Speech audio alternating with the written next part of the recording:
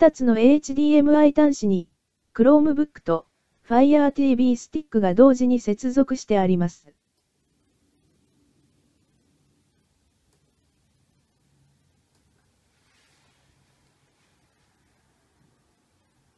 Fire TV スティックの画面に切り替わりました。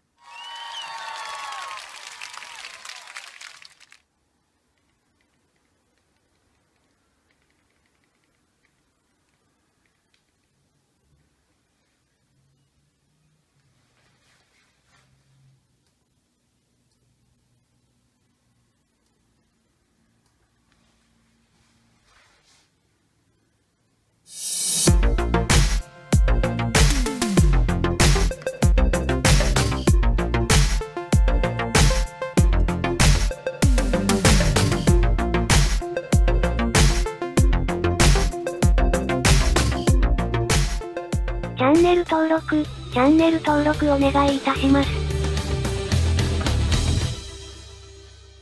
チャンネル登録お願いいたします。